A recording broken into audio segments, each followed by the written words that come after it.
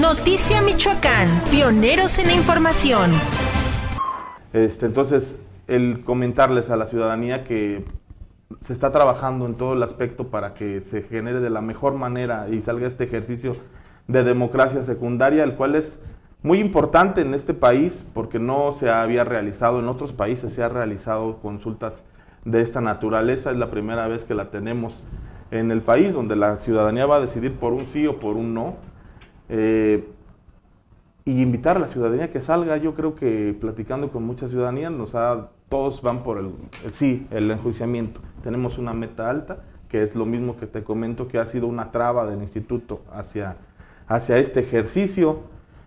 tal vez por los intereses que todos sabemos que se generan muchos intereses y hay mucha gente detrás moviendo los hilos para que esta cuestión no pase, pero a final de cuentas, la democracia así es, es participativa y esa es la idea de que la gente salga y emita su decisión y ojalá y cumplamos la meta, que yo estoy seguro que es alta, soy muy sincero, es alta la meta, pero con la voluntad de, las personas eh, se pueden hacer las cosas. NM Noticias, pioneros en la información.